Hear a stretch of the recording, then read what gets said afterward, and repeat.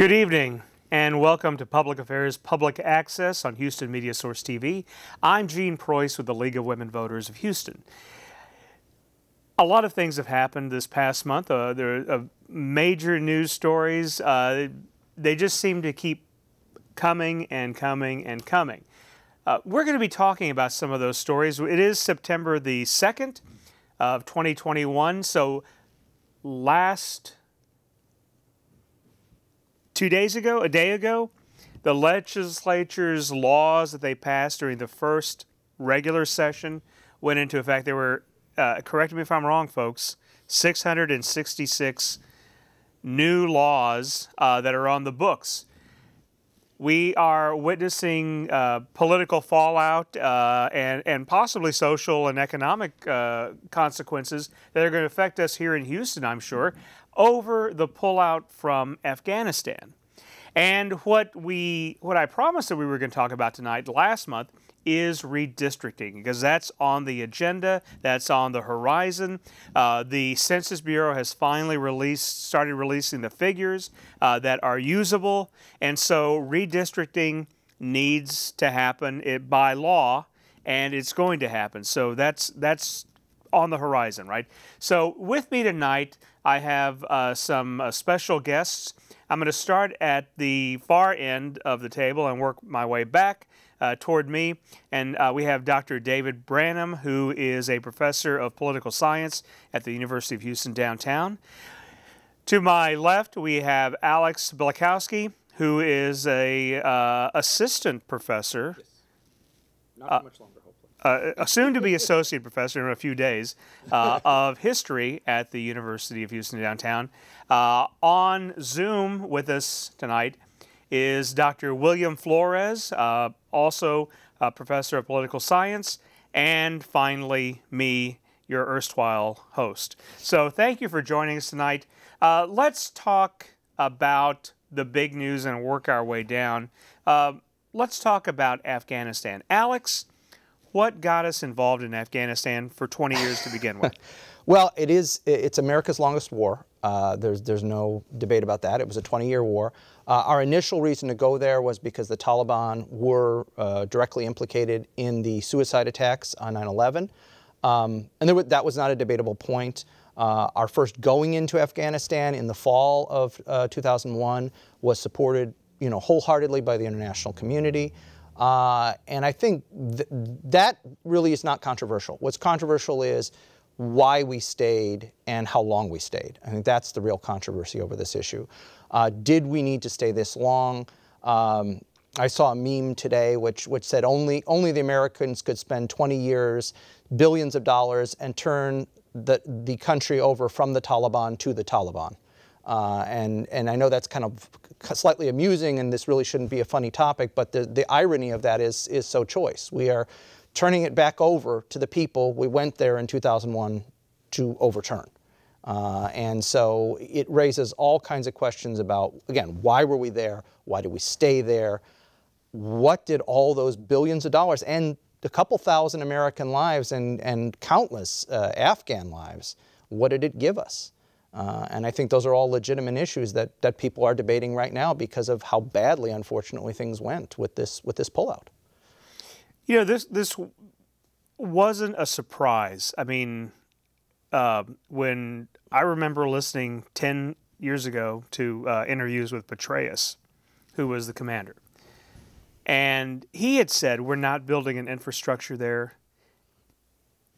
If we leave, this was a decade ago. Things are going to be just as bad as they were to begin with.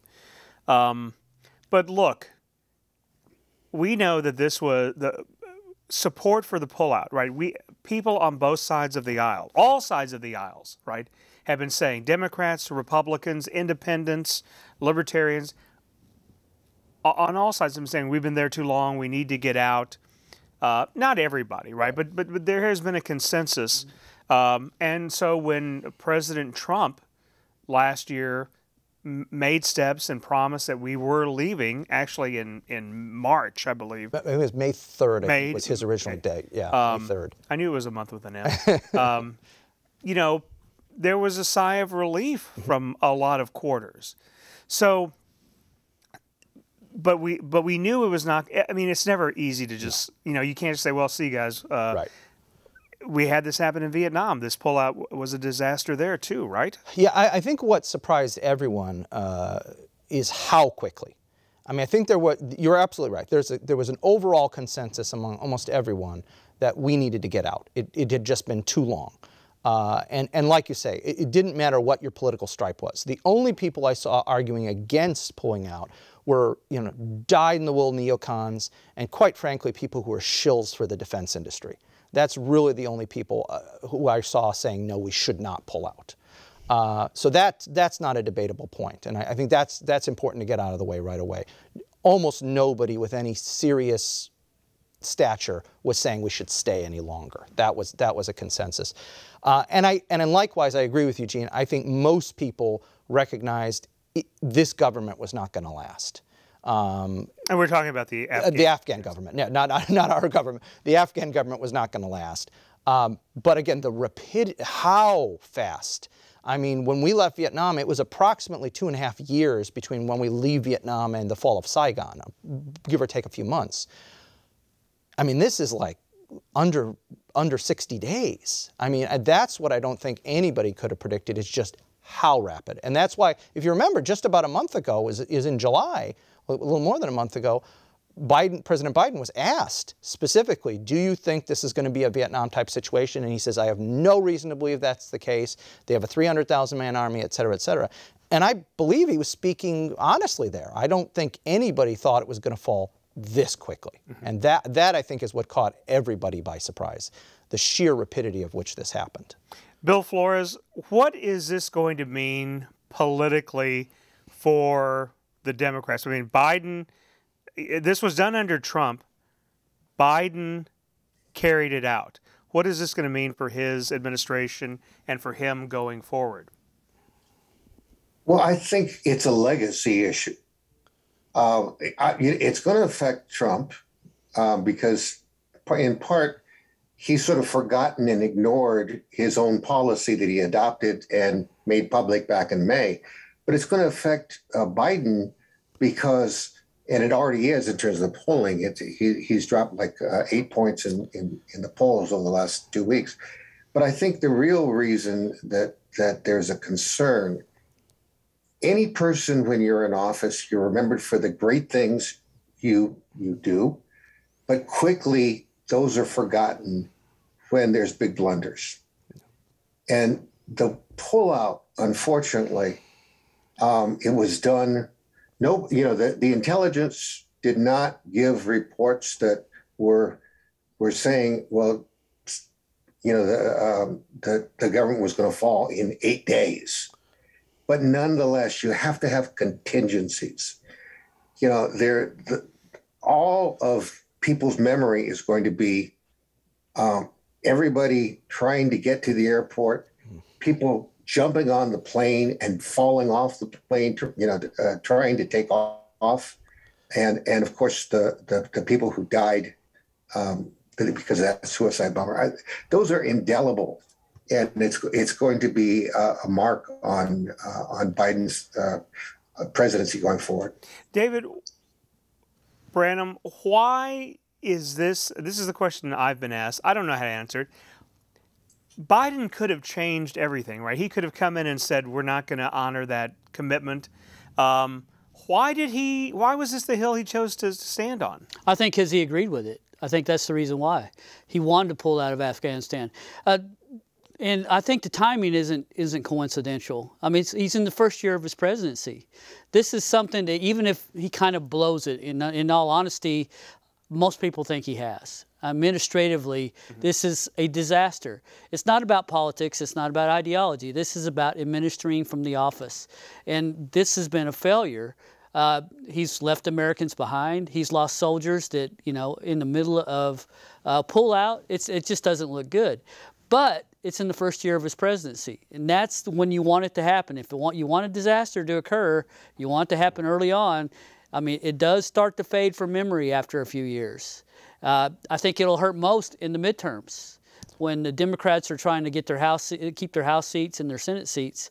I think they're going to get hurt when it gets to the to the general election, which I'm I'm guessing that Biden probably will not even be in that general election.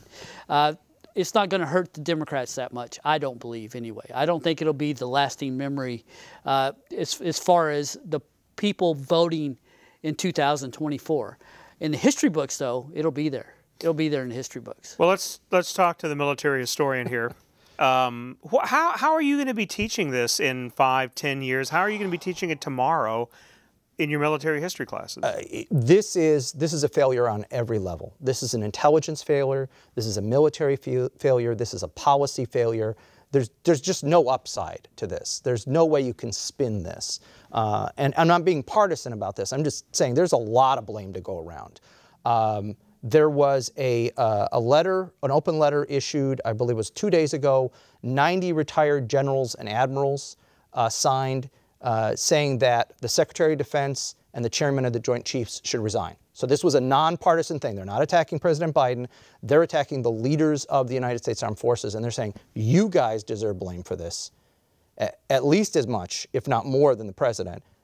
We demand you retire. So if 90 retired generals and admirals are demanding that, that says a lot. Uh, and, and if I can venture into the political science realm, even though I'm a historian, just for a brief thing, there was a Rasmussen poll. Did you see the Rasmussen poll that no. was out today? 50, so Rasmussen is a pretty respectable, this isn't, you know, like Fox News or something. 52% of the people polled thought Biden should resign over this.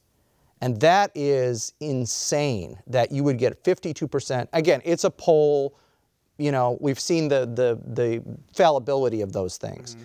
But that kind of shows you in the short term, like David's saying, short term versus long term, what the sense of, the, of the, a lot of people are. Yeah.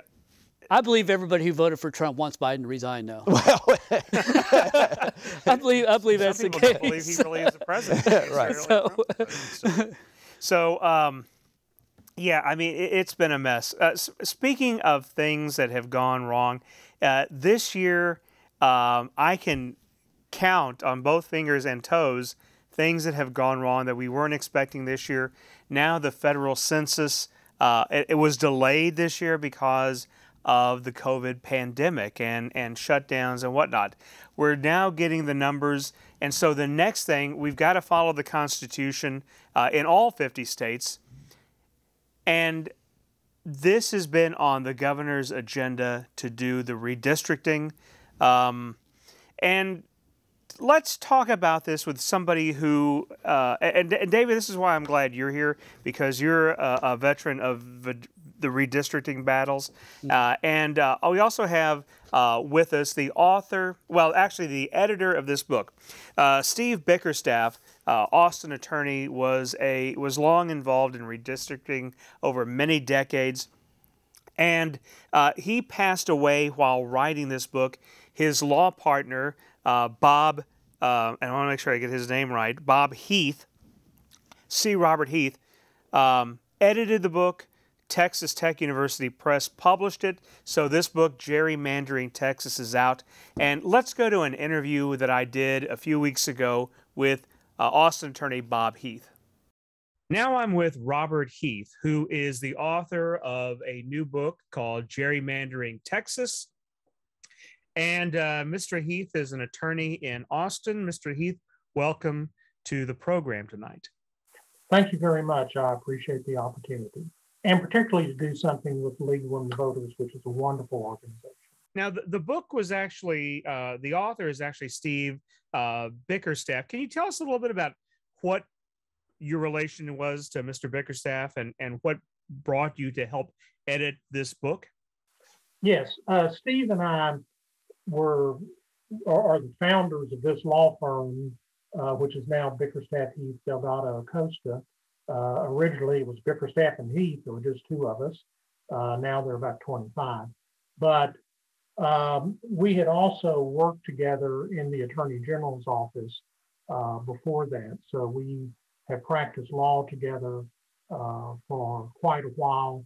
Uh, and Steve was a very uh, great expert on redistricting. In fact, when we started the firm in 1980, um, our first real piece of business was a um, contract he had with the Texas Senate to prepare a guide for redistricting, uh, which we did. He advised the Senate um, in the 1981 session, uh, did represented the state on some of the litigation, had previously done that in the 70s, and I had worked some on redistricting in the 70s as well. Um, and you know, so he's done a lot of redistricting. A lot of the stuff in the book is are, are things that he did uh, or advised people on uh, because he was involved in many of the statewide redistricting, certainly local redistrictings uh, from 1980 uh, forward. Uh, he wrote this book. Uh, unfortunately, um, he died in October of 2019. The book was essentially finished, submitted to the publisher, but I ended up doing the final edits and had, had visited with him and worked with him as he was doing the thing. But it's Steve's book. Well, I've got to say that um, it's takes a very com- more complex subject than I even realized, and it uh, simplifies it. Now you've been doing, uh, been involved with redistricting for, uh, for uh, 30 years now. Um, and the book came out in 2020 uh, from Texas Tech University Press. So let me give you my impression. I think this is a common impression of how redistricting works. Every 10 years, uh, we get the census and then we divide up districts in the state uh, according to the population, and that's how we elect our electors. But uh, uh, it, it looks like the process is actually much more complex than that. And without getting, you know, I don't want to to give away all the, all the the secrets, but can you tell us uh, what is the LRB? All right, the LRB is the Legislative Redistricting Board, and under the Texas Constitution, if the state legislature does not enact a uh, redistricting plan for the House and Senate, um, then the task goes to the Legislative Redistricting Board, which is made up of five officials, four elected statewide, and the Speaker of the House. Uh, that's the Lieutenant Governor, the Attorney General, the Controller, Commissioner of the General Land Office, so the four statewide officials.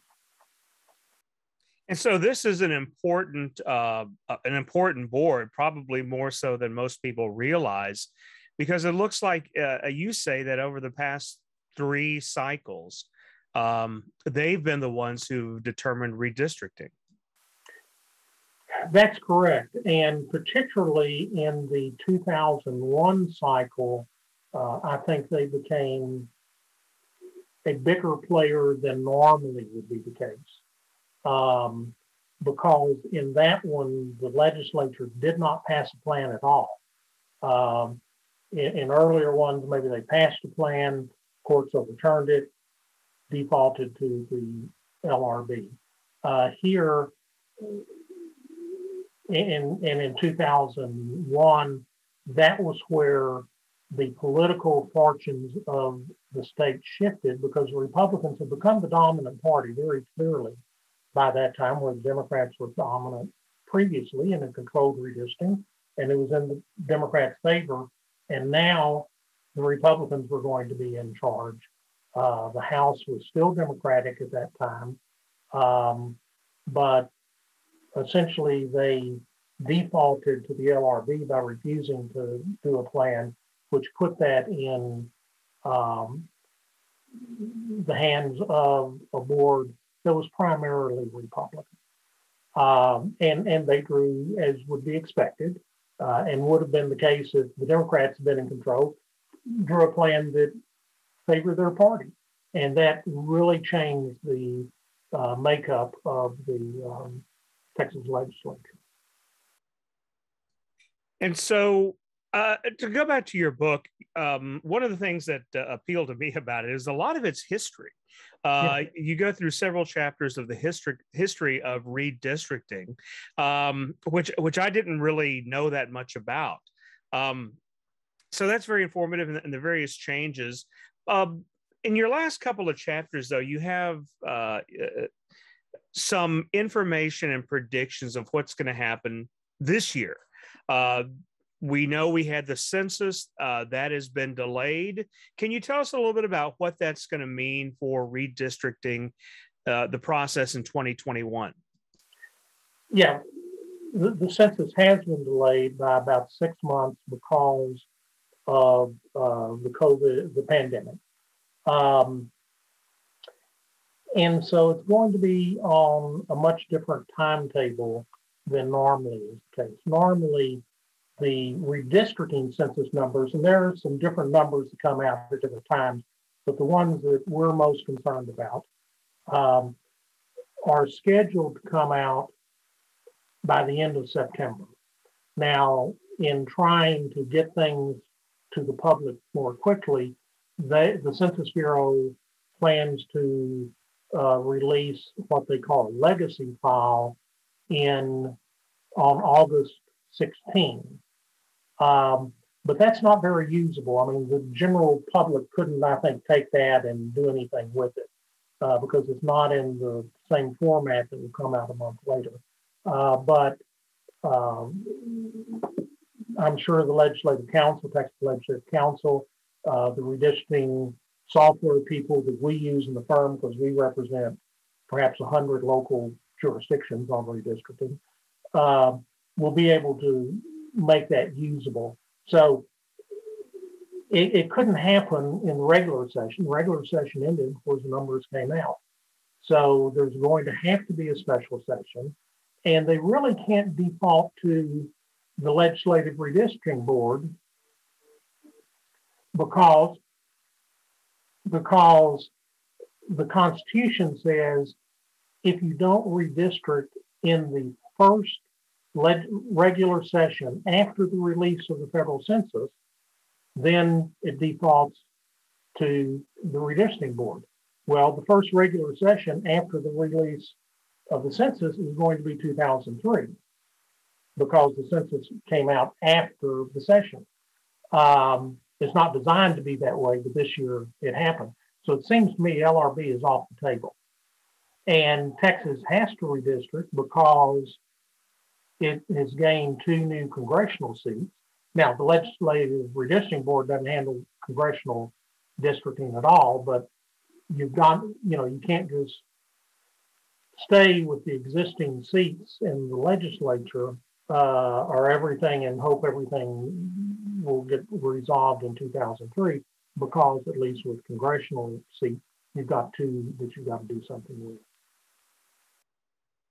Okay, so Governor Abbott did not put redistricting, probably because he couldn't, right, on the agenda for this legislative session, which uh, it turns out is a bust because uh, uh, several Democratic lawmakers left, uh, so they don't have quorum.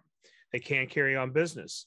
Um, there is talk that it's going to be in the next legislative session, uh, and that was planned in advance. But with the uh, the current legislative session, the first call session, um, being on hold, uh, and Abbott is saying we're going to, you know, keep having legislative sessions again and again until we get what he wants passed passed.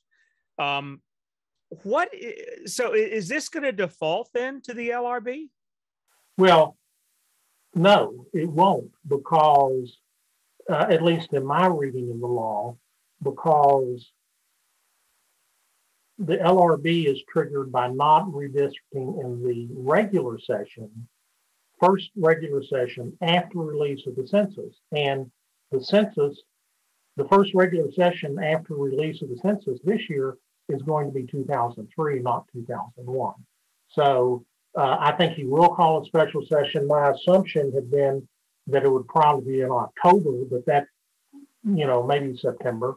Um, with the numbers perhaps coming out in August rather than September. But um, you know, I think it was always contemplated that special session for redistricting would be after the one that's going on right now, and that's going to end in about a week because right. it's 30 days long. So, a couple of things um, that uh, the book brings out. Tell us about the Evenwel decision for, from 2015. Yeah, Evenwel uh, involved, a, to me, a really interesting question. Um, and and by the way, um, uh, on that, I represented uh, Harris County uh, in preparing an amicus brief in the U.S. Supreme Court uh, on that case, uh, and on a couple of Uh, not Harris County but other jurisdictions on some other cases that went to the Fifth Circuit uh, that preceded Evenwel. Uh, but the question is, who counts in redistricting? What data do you use? Traditionally, what we have used is total population. Count everybody. If you reside in the United States, you're counted in the census. Doesn't matter what age you are, doesn't matter if you're a citizen, as long as you're a resident, not just passing through. Um, but there have been some people say, well, you know, we really want to look at people who vote or potentially can vote. Uh, so let's do something like citizen voting age population. That would be number one, voting age population, people 18 and above, so you wouldn't count the children because they can't vote, and only citizens of the United States since non citizens can't vote. Um, and that has partisan a partisan impact if you do that. Um, and so these cases have been going on for several years trying to uh, get a court to say that that's what you have to do. Evenwel was a case uh, that came out of Texas.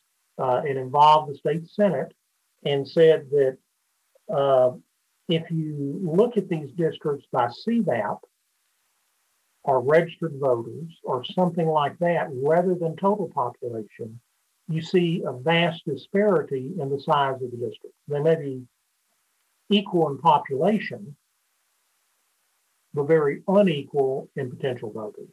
And typically that occurs with Hispanic districts, it's largely Hispanic districts.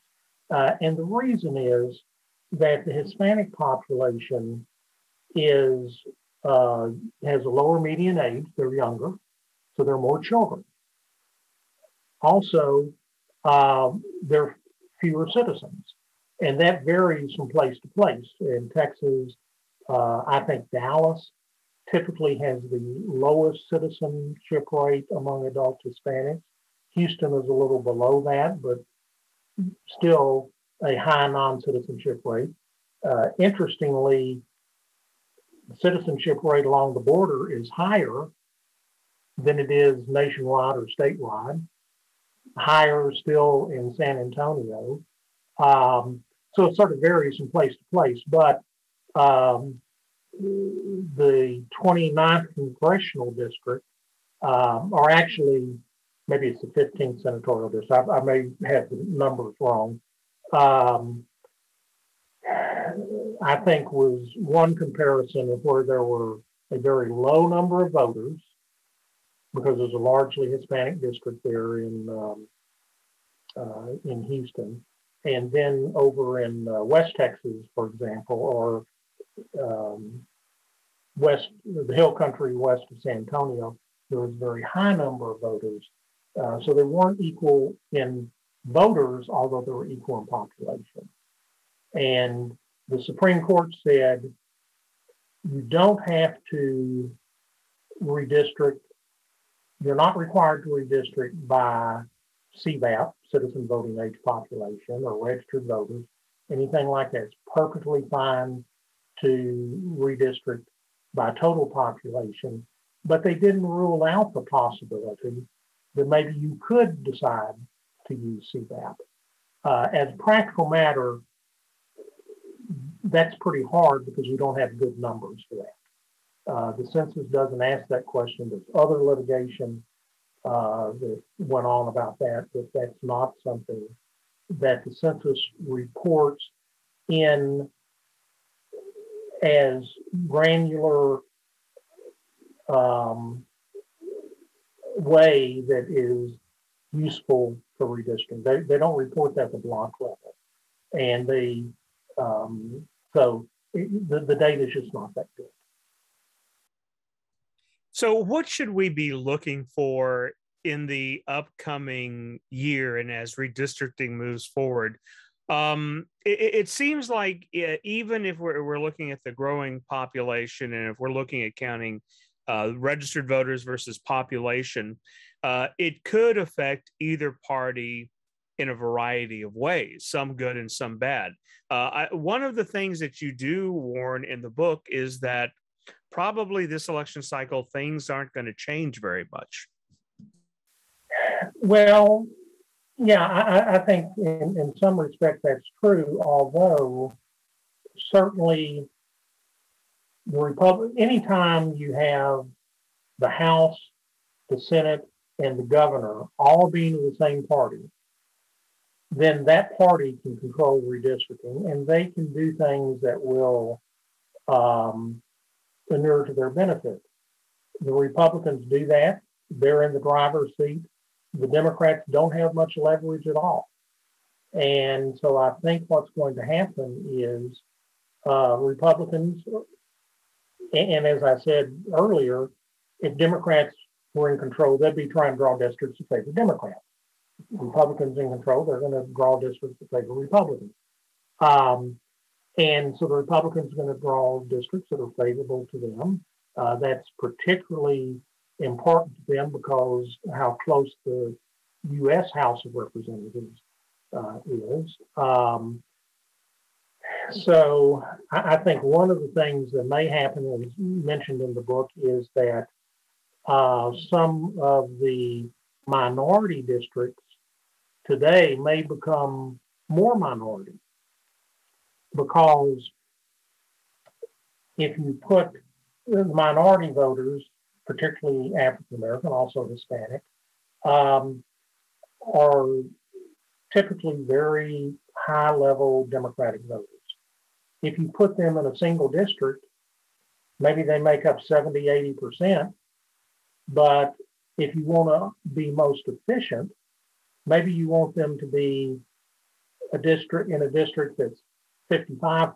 So it's safe enough to win, but you're not wasting votes that you can put in other districts. Because when you do that, then you make the surrounding districts uh, more able to be non-democratic. So I think that's one of the things uh, that that will be happening. Now, I think you're probably going to see this. Uh, it's not mentioned in the book because uh, numbers haven't come out, or it haven't come out. But in Travis County, where I live, uh, Austin is very heavily Democratic. Um, and I think it is the largest county in the country that doesn't control its own congressional district. Um, you could certainly put a district entirely within the county. They don't because uh, they bring in about five or six districts from surrounding areas so that those districts, those Democratic voters will be submerged in a larger group of Republican voters. Um, and uh, for example, my uh, congressman um, resides up near Fort Worth, uh, but his district comes down to, uh, to Austin. Um, but probably what's going to happen is that they will draw a district wholly within Travis County um, and say, okay, Travis County and Austin elects is going to elect a Democrat, but then that makes it easier in the surrounding counties to elect Republicans, particularly since there may be some shift in the suburban counties that might be becoming more Democratic. Uh, so if they're not as um, Republican as had been the case, uh, it may make more sense for the Republicans to conscript Democratic voters in the urban areas. So, what are some of the big challenges uh, to, to wrap up? What are some of the big challenges you see? Uh, and I know you're going to be busy, and your law firm is going to be busy uh, starting, you know, after September. What are some of the challenges you see coming up? Well, first, in the local redistricting, that's going to be a huge challenge, particularly for counties, because they're going to be on a very truncated uh, time frame because the primaries uh, are in March unless the legislature changes that, which it may, but filing begins in November. So you talk about starting in September or even in October and filing mid-November, uh, that's going to be very hard to do. I think uh, the legislature may change the primary. I don't think they want to do that, but they could. Um, but it's it's going to be a big challenge for Democrats because, as I said, they don't have any leverage. Um, you know, I guess they could uh, walk out and break a quorum as they have done uh, in the current one and as happened in 2003. Um, but I don't see an end game in that. Uh, I don't see where it ultimately gets them anywhere. Uh, so uh, I think the Republicans will do what they can to help their cause. Um, the big problem for Republicans, and it's often the case in uh, redistricting slogan, pigs get fat, hogs get slaughtered. If you cut it too close, if you try to get too many, you run the risk that you start losing those seats um, as the decade goes on. Because if, if you, you know, you want to draw seats, as I said, maybe it's 55%, not 60 or 70 for your party. Well, if you draw it at 55, 54, 53, whatever, um, those numbers can change and probably will.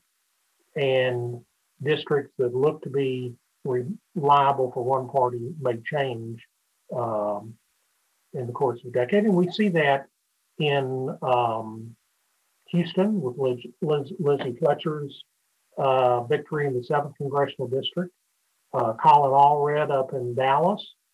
Um, those districts were drawn to be Republican districts. Democrat represents both of them. So you, have, you know they, they have to be careful not to cut too close. Um, you know, if you reach for too much, you don't may not get nearly as much as you want. Thank you for being on the show with us this evening, and we hope to speak to you again very soon. Thank you. Thank you very much. I appreciate the opportunity. Okay, so that was C. Robert Heath, uh, Austin attorney, uh, who's worked. Uh, he and his firm, uh, and Steve Bickerstaff, his uh, his uh, late law partner, for 30 years or better on redistricting, and talking about the book "Gerrymandering Texas." All right, so David, you've had experience with redistricting as well. So I was talking to Mr. Heath several weeks ago. Mm-hmm. We were talking about you know what September is going to bring. The census data is starting to come out. Has come out. Um, unfortunately, Houston isn't uh, third largest city. We're still number four. But is anything going to change as far as representation is concerned? Well, the Republicans were in control of the last redistricting, and they look to be in control of this one. So, uh, my guess is that it, the initial plan, at least, will be strongly in favor of Republicans getting reelected. And, and, and in new seats, it's going to Republicans will probably get elected to a lot of those new seats. Uh, that doesn't mean they'll they'll get all of them. Uh, there will be provisions made because there are Democrats in the state. You have to put them in a district. Uh, but the gerrymandering will occur. It'll make it where Republicans have a better chance of electing a whole lot of people, and Democrats will have less of a chance to, to elect a whole lot of people. What they'll do is they'll pack the Democrats into districts, and the Republicans will have a lot of 60 40 districts where they have a lot of 60% Republican, 40% Democrats. And the major thing that they'll have to do is keep from keeping the districts from getting diluted as the decade goes by and having the Republicans in those seats uh, end up losing their seats down the line because their district changes, more Democrats come into their district. Uh, and that's a very strong possibility that you know that that could actually uh, be a big problem for the Republicans later in the decade. Bill Flores, what do you see? I mean, I think a, a lot of people uh, had this vision, and, and, maybe this happens every decade, is that we're done this redistricting, and suddenly we're going to see just a sea change. But that's not really accurate, is it? Well, most of the growth in the state has been um, non-white. It's and particularly Latino. Uh, you you look first of all, uh, 2022, the largest ethnic group in in Texas is projected to be Latino. Uh, between 2010 and 2020, for every new white Texan whether they moved into the state or whether they were born here, there were 11 new Latinos in the state. So the population growth and the when you look at it from the standpoint of who should get those districts, it should be if it was strictly on population growth, it would be undoubtedly be uh, districts that or, or cities that have large Latino populations. That's not going to happen for the reasons that David has has described. And and this is compounds a problem where there is a growth that is not being responded to uh, by the dominant party, in this case, the Republican Party, in in the sense of um, trying to get their vote and trying to to adopt policies favorable to the Latino population. And I, am saying that from a standpoint that that you know to reiterate what what David was saying because there is the likelihood. It's not like like Asians and Latinos and blacks. Um, in, the old days, they were segregated into communities. There was there was you know both uh, legal segregation, but there was also um, uh, situations where there were they were banking and redlining and lots of things that that forced people into certain enclaves. There were covenants in uh, you could not sell your property. In fact, some some uh, districts in in Houston, you know, uh, some HOAs still have those and are being sued over it. It's rare, but it, some of them still exist. So, for the most part, that does not exist anymore. As a result, as people's income uh, increases, they move to the suburbs, they move to better education schools. We're going to see the Latino population grow, but we're also going to see it uh, not just concentrated, disperse. Same thing with the Asian population. The, in, the population from China, from India, from much of the Asian world, it has grown in, in Texas and will continue to grow.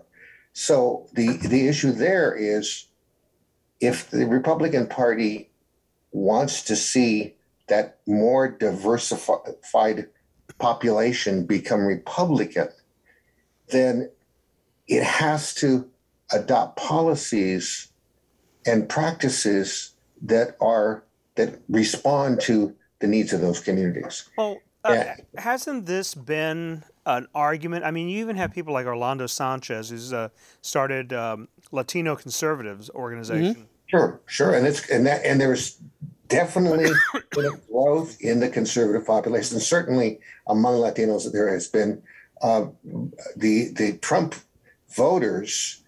Um, you had a lot of Latinos vote for mm. Trump. Yes, and a lot of areas that have large Latino populations uh, voted for Trump. So, uh, yes, there are inroads being made, definitely. And and there have been calls for Republicans to be more inclusive. I mean, uh, and, and, this was you know a, a, number a decade or so ago that uh, there was this concern that they weren't, and that they were going to miss out on a whole bunch of their voters. So there there have been efforts, and, and there there have been efforts both ways, right? From minorities who are conservative Absolutely. to the Republican Party, and likewise the Republican Party to the conservatives. The real issue um, that I think that uh, often goes under the radar is that there's a lot of minorities uh, and a lot of uh, of people who who traditionally you would think of as Democratic voters who have expressed dissatisfaction with the Democratic Party. Um, likewise, be, for for for moving too far to the progressive side is one issue, and another issue is that the, the, there has been a fear and a criticism that the Democrats have not been responsive to the minority groups that normally vote with them. Uh, they, part of it, part of it is the the Hispanic population in Texas. Uh, even though the, it's growing and it's it's larger than the non-Hispanic white population in Texas, it's I mean it's very strong population. Whites are not a majority in Texas anymore. They're not. Uh, the thing about the Hispanic population, though, is one, a lot of them are not documented, which means that they're not going to be able to vote. So uh, politicians tend not to respond to them. Two, they have a very young population. Uh, there are more uh, Hispanics that are below 18 years of age than any other group, and it's a massive population that gets counted in the census, but those those young people don't vote. And overall, in the culture, uh, usually takes a few generations before voting is part of the culture of the Hispanic culture. Uh, but we have it here in, in, in Houston where uh, the, the uh, Denver Harbor area is very strong voting culture among Hispanics who vote in Denver Harbor. And the north side of Houston, mostly first generation, you don't see that. So in the short term, a lot of people ignore the Hispanic population. Republicans often ignore them because they feel like they're inconsequential because they're not going to be at the polls voting one way or another. Uh, Democrats probably get in the same rut where they say, look, yes, this is a growing population. Everybody sees it, but they don't have the political clout yet because they're not at the polls. All of that is going to change. So it's the Republicans who see the future, uh, the George P. Bushes, and they see that who say, look, we need to be inclusive. We need to include Hispanics in our party. We need to embrace them, give them leadership positions, not just say, come vote. You have to have leadership positions in your party. And if those Republicans are looking to the future, the Republicans who aren't doing that are thinking about right now. That's all, you know. And a lot of them are older. They, they're, they're not worried about, you know, what's going to happen in, in 2030. The only thing they care about is 2021.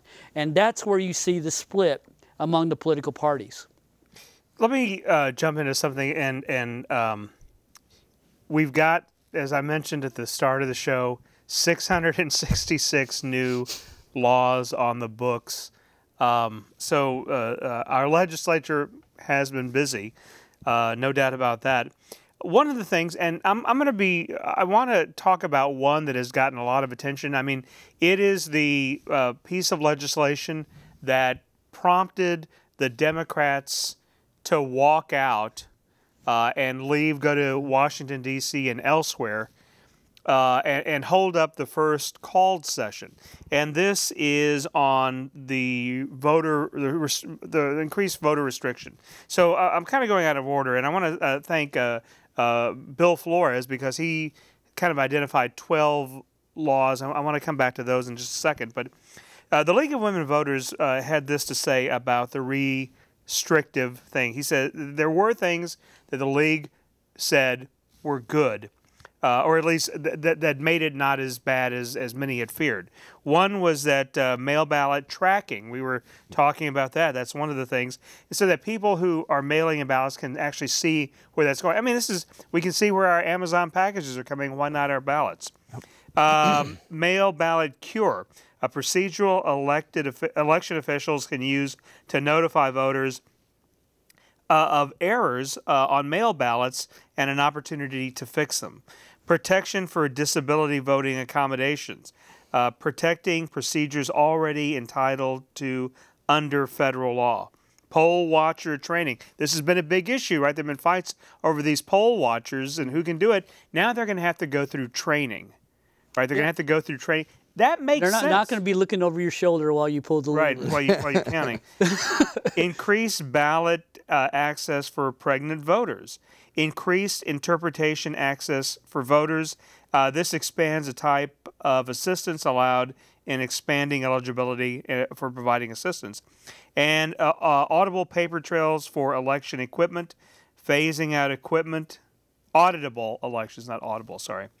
Audible, auditable paper, so we can track what happened to these election machines, so we don't have the thing uh, like you know the uh, My Pillow guy is being sued by uh, what's the name of Is the it- Oh yes, uh, I forget what that company's called. the, yeah, the, the, the- the- you know there was a lot of Cyber Ninjas? Is There's that what been a was? lot I just have his face in my my brain right now. I'm sorry. There's been, you know, but, but, but all of these conspiracy Uh, He's theories. about Dominion, I believe. Dominion, there we thank go. you. That's what it Dominion is the company that made the voting machines. And they're not, have now the- they're suing him. Yeah, Yes, Um, it's- because of yeah. But but look, all of that that spoke to the fear that people were having uh, on both sides, right? Is that there's Mm-hmm. been a lot of these rumors and a lot of speculation, uh, and so it sounds like that in this law, and although a lot of people were against it and there were concerns about it, that there were some things that that did provide some good Yeah. remedies for both sides. Right? And I'll, I'll say, I mean, the Democrats w- were arguing that it was repressive to some voters,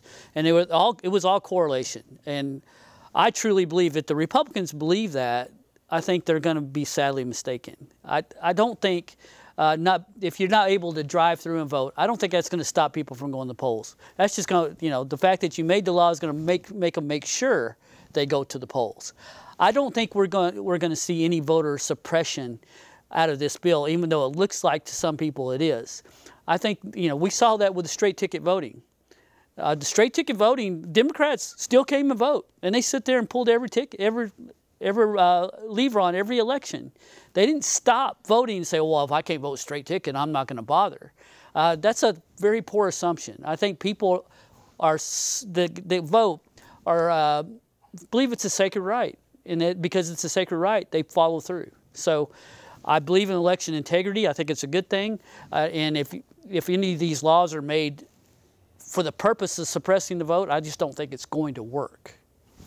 And I, I also think there's an issue there when you talk about the electronic voting, and that, that is scary to a lot of people because once you've you know pushed the button and you've cast your vote, how is it being counted? Can people access it? You know, all these questions that have been raised, some legitimately, some illegitimately, by people on both sides of the of, of the aisle.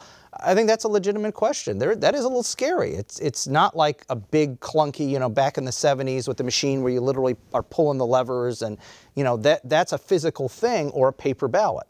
So you, you can feel a little bit more secure in those kind of things, I think. Okay, but look, it's 2021, almost the end of 2021. I gotcha. You know, at our office where we all teach together, you cannot get on to the silly machine and and I have very strong feelings about this without this authentication Yep. service, right? That It's very drives painful. me Yes. batty. It's very painful. It is. you can't do bank you you do banking electronically right we do emails secured emails and signatures electronically why in the world bill flores can we not vote electronically You know, I, I think that that the, a lot of the concerns will remedy themselves as the levels of security increase, as encryption continues to, to increase, and as safeguards are built in. Um, a lot of companies are already working on uh, toward those goals. You know, what troubles me because I've lived in in a lot of different states uh, for for different jobs, is that Texas is already has a lot of restrictions. It makes it very difficult for you if you're if you're um, uh, going to be out of the state uh, or if you're suddenly uh, you know in a in a situation where you're hospitalized to be able to vote by mail-in ballot. Uh, in in or if you're disabled to have somebody help you. You know, uh, when my mother uh, had uh, become dis- disabled, she knew who she wanted to vote for, and she could point and she could tell me, you know, but it, it was very difficult. I helped her fill those forms out. Yeah, this was when I was in California. Um, when I was in New Mexico, my father uh, was in New Mexico visiting me when elections came. And so uh, the same thing. He had had a stroke. He had had, you know, uh, issues. He could talk, you know, or but I helped him to vote. We sent it in by by mail-in ballot, no problem. Um, one time when when I was in San Diego, uh, we were able to just drop it off, and there was somebody there at a collection site uh, selecting them. States have been doing this for years, but all of a sudden in Texas, you got to put restrictions, and I think that's the wrong direction to go to. It sends the wrong message.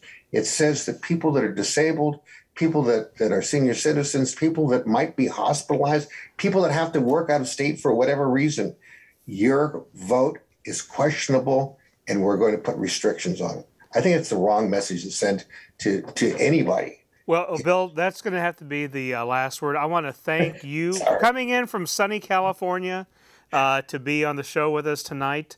Uh, Bill Flores, David Branham, uh, Alex Bielakowski. Uh, and uh, from Austin, uh, we the interview with uh, Bob Heath, uh, the editor for the book Gerrymandering Texas. Really good read and very interesting. Um, and so I thank him for, for and Texas Tech University Press for helping put us together and talk. Um, and thank you for joining us tonight in the League of Women Voters. Bill, I want to follow up. I'm glad you helped your parents vote. I helped my dad, a World War II veteran who served our country in the Pacific but never voted very regularly until he learned that I turned 18 and I was voting. And he says, I'm going to start voting too. Dad, I'm so proud of you. He goes, Yeah, I just want to vote against everybody you vote for. That's a true story. I love your dad, Gene. so I'm thank sure you my all. mother voted against who my dad was voting to many times as well. So. Thank you all for joining us uh, here on this September 2021 edition of Public Affairs Public Access with the League of Women Voters of Houston. Good night. I'm Gene Preuss with the League of Women Voters. Bye bye.